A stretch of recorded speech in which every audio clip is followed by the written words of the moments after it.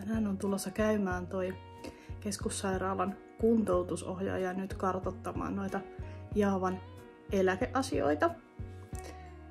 Eli tarkoituksena on, että istutaan alas ja jutellaan.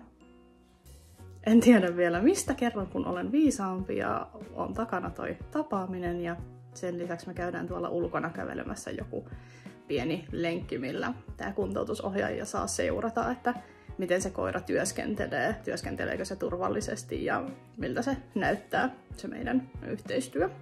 Hän etukäteen pikkasen jännittää, ei nyt mitenkään huonolla tavalla, mutta no, pikkasen kuitenkin.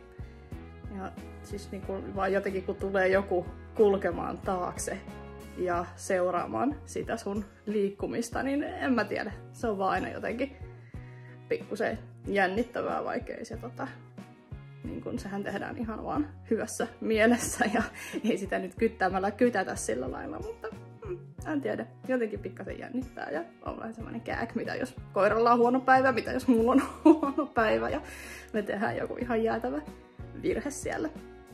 Mut nyt ensin vähän aamupalaa ja vien koiran aamujalottelulle ja niin aamujalottelulle ja sitten aletaan odottamaan kuntoutusohjaajaa kyleen.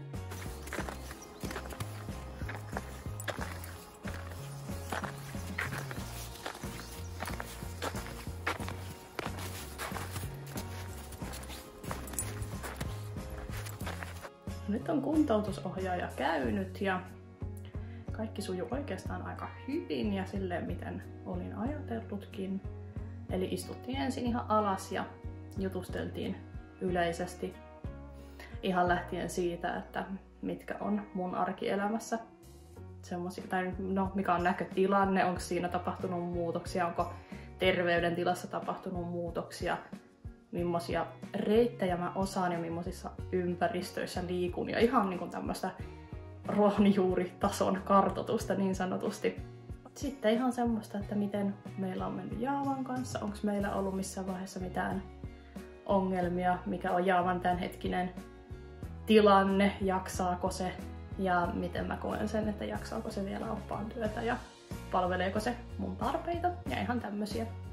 Ja sitten jo ihan koiran vaihtoa ajatellen siihen liittyviä asioita, mitä mä koen, että mä uudelta koiralta ää, mahdollisesti tarvitsisin tai onko jotain erityisjuttuja, mitä mä toivoisin uudelta koiralta. Ja ei siinä sen ihmeempiä. Sitten lähdettiin tonne ulos kävelemään. Eli siinä kuntoutusohjaaja seurasi perässä ja me käytiin yksi semmonen lyhyt meidän tuttu lenkkireitti, missä oli vähän erilaista syrjää ja puolenpitoa ja portaita, mäkiä, että se näki miten kuljetaan ylä- ja alamäissä, että koiralla on poveria edelleen jaloissa ja ää, suojateiden hakua ja tuli siellä muutamat koiraohituksetkin ja monipuolisesti kaikkea. Ja Jaava sai hirveästi tietysti kehuja siitä, että tosi hienosti se opastaa ja huolehtii, että mä en kompastele lumipaakkuihin ja, ja kuulemma tekee rennon näköisesti työtä, selkä liikkuu hyvin ja ei näytä siltä, että olisi mitään toispuoleisuuksia tai fyysisiä, että se aristelisi mitään tai ilmentäisi merkkejä vaikka stressistä tai jostain tämmöisestä, eli kaikki meni tosi hyvin. Ja käytiin lopuksi vielä juoksuttamassa jaavaa vähän vapaanakin ja siellä se kieriskeli lumessa ja nauratti kaikkia pääs. Eli turhaan jännitin etukäteen. Jaava opasti tosi hyvin ja minä roikuin kiltiisti perässä ja annoin koiran tehdä työtä niin kuin kuuluukin ja kaikki meni tosi hyvin.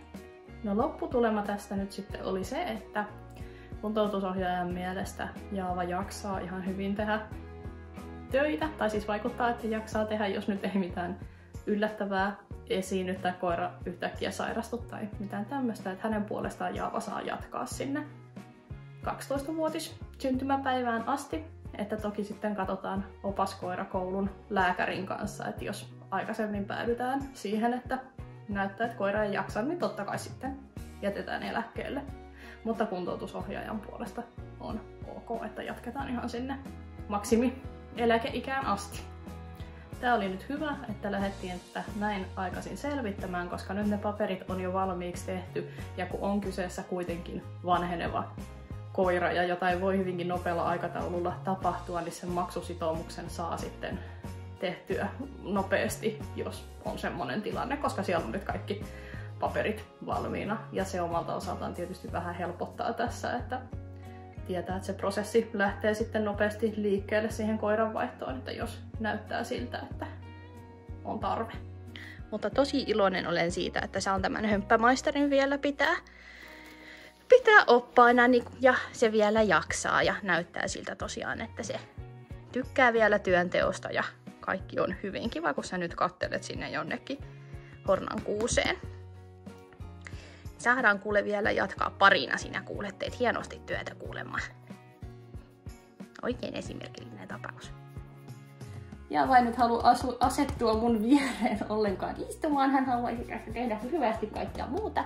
Mutta me lähdetään viettämään kiva päivä. Kiva, kun sä siinä vaan haukottelet. Ja olemme onnellisia tästä lopputuloksesta. Mm.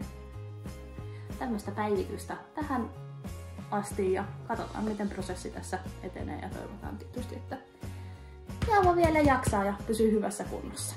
Nähdään ensi kerralla. Moikka!